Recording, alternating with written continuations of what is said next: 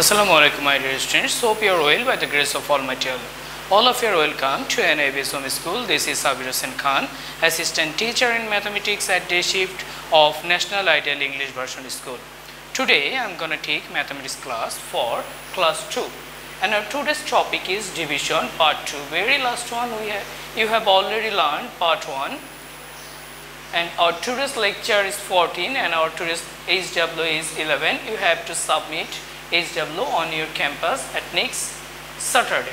And our today's CW is your HW now let's go to start our class. Here is question number 1 47 divided by 5 so here is 4 is smaller than 5 so we have to consider with 7 so here it will be 47 and we know that the times table of 5 5 zeros 0 5 ones are 5 5 twos are 10 5 threes are 15 5 fours are 20 5 fives are 25 5 6 are 30 5 sevens are 35 5 eights are 40 5 nines are 45 so here it will be 45 now draw a line here and subtract 45 from 47 5 from 7 it will be 2 and there is no carry.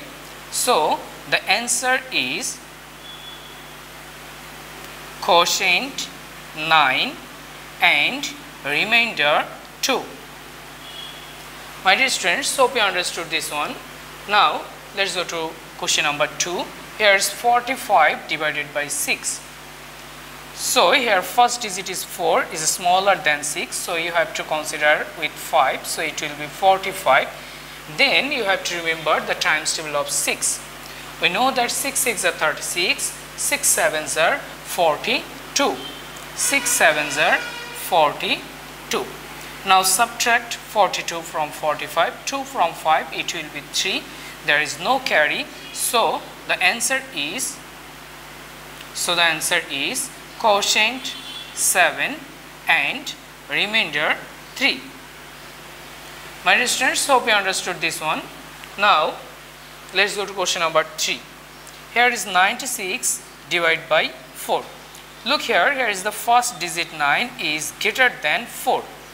So, you have to divide 9 by 4 at first and we know that 4 ones are 4, 4 twos are 8, 4 twos are 8. Now you have to subtract 8 from 9, here it will be 1.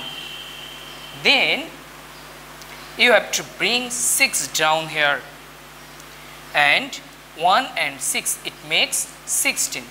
Then again you have to read the times table of 4 and you know that 4 3s are 12, 4 4s are 16. So here it will be 4 and here it will be 16. Now after subtracting 16 from 16 it will be 0. So here is answer quotient is 24 and quotient is 24 and remainder is 0. My dear students hope you understood this one. Now the next one look here here is 80 divided by 2. Again look here here is 8 is first digit and 2.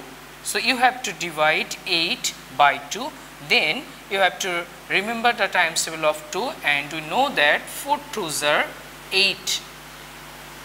Now, subtract 8 from 8 it will be 0 no need to write 0 here. Now, you have to bring down 0 here.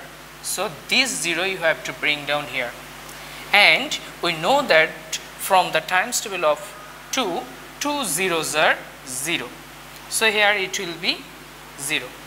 After subtracting 0 from 0, it will be 0. So, the answer is quotient 40 and remainder is 0. My dear students, hope you understood how can we divide. Practice it at your home more and more. See you soon and till then Allah Hafiz.